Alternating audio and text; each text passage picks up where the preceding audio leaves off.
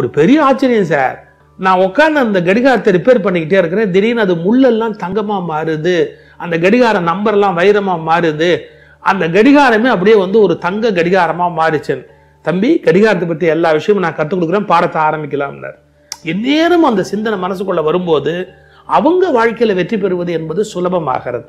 இவனுக்கு பாருங்க எத்தனையோ யாரோ சொத்து எழுதி வைக்கிற மாதிரி கனவு வந்தா அவன் முன்னுக்கு வர முடியாது. இந்த கடிகாரத்தை எல்லா டைமும் ஆனால் கூட நான் அதிகமாக வேலை பார்க்குறேன். அஞ்சு மணிக்கு எல்லாரும் ஏஞ்சி வெளியே போகிறாங்க நான் வேலை பார்க்குறேன்.